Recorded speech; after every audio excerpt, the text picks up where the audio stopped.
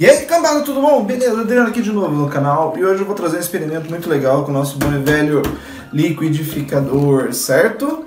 Vou colocar o quê? Essas barrinhas neon. Quem não conhece, a gente usa muito pra, pra festa, pra balada, que a gente quebra, ela brilha. Vocês vão ver no vídeo como é que fica, bem legal.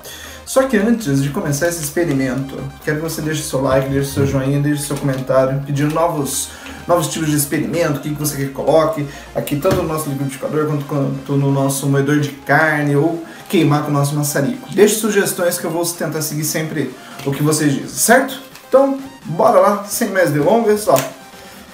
Vamos colocar essa belezinha aqui, ó, no nosso liquidificador, né? Opa, estourou aqui embaixo. Vamos colocar algumas. Oh, caramba, vamos lá. Ó, uma já quebrou aqui, não sei se vocês conseguem ver, ó. Quando você quebra, ela começa a brilhar. Então, vamos nessa!